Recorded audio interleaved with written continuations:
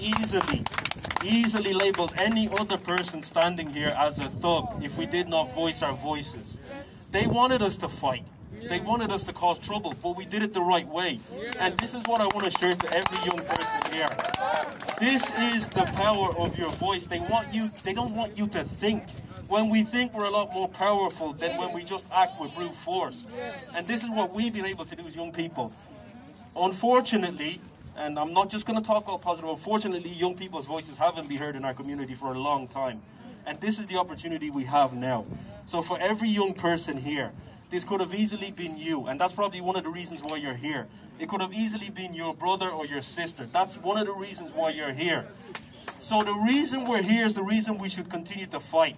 Let let's not just make this something that we just posted about and it was a good thing. We all fought, we showed that we love one another. No, we have to take it further.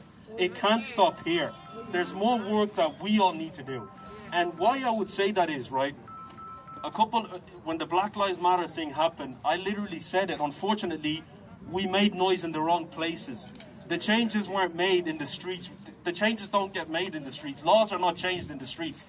This is where we protest in front of these type of buildings, in front of the government, and that's where we make the change. If you don't fight, this will be at your doorstep one day. If as young people, and I'm not only addressing the older generation, but the young people, if we don't fight this now, when you have kids later on down the line, 10, 15 years down the line, this could come to your door. We can't let that happen. We have to open up and speak. And I want young people to challenge everybody up here that has spoken, everybody that has said they're going to come forward and do an initiative and do things for us, right? They want to hear what we have to say, so let's let them know what we have to say, what we want to improve, what we want to do different. But we have to fight and hold people accountable, including me. Hold every person here accountable to the things that we're saying, new initiatives.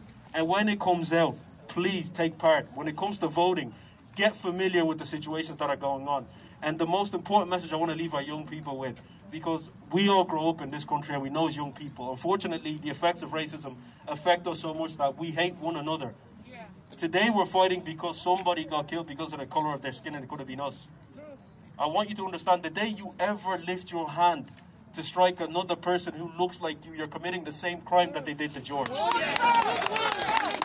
is exactly what we are doing the day we do that.